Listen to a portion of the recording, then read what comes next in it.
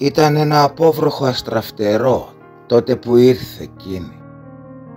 Με ένα χαμόγελο ξεχασμένο στα χείλη και ένα φωτοστέφανο μαλλιά και δυο όνειρα για μάτια. Ήταν σαν προφητεία της ήτας, προανάκρουσμα του σεισμού. Πίσω της φωσφόριζε η θάλασσα, μια διάφανη φλόγα. Δεν θα παραδοθώ, είπα κουτά. AIDS ραδιοντιφωτζιούν Μπουκουρέστι. Κύριε, έρχομαι από μέρος του ραδιοντιφωτζιούν του σταθμού μας για ένα μικρό interview. Η ποίηση έγινε κομμάτια. Τι γυρεύεται δεσποινής, τι γυρεύεται από έναν νυχτωμένο υπότι από μια ξεχασμένη γραβούρα. Τι, εγώ δεν έχω πια τίποτα, ούτε τη δύναμη για νίκη. Εγώ έχασα όλες μου τις μάχες και εσείς με καλείτε να ξανανικηθώ. Αληθινά κύριε, διόλου δεν σας καταλαβαίνω.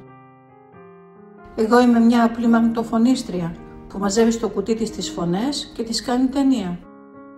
Εγώ κοιτούσα την ταινία των μαλλιών της πίσω της χρυσή γέφυρα το ουράνιο τόξο.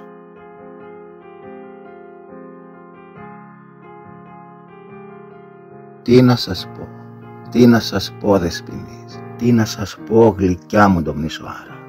Για ποια χαρά, για ποια ομορφιά, για ποια λύπη. Πεςτε μου, να, κάτι για τη ζωή, κάτι για την τέχνη.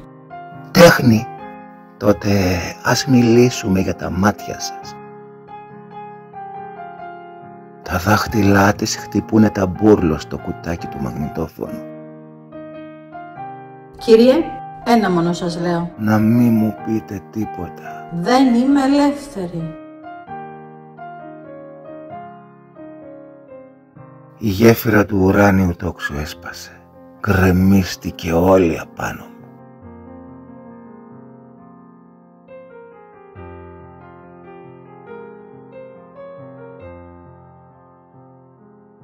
Τι θέλετε ακόμη δεσποινής.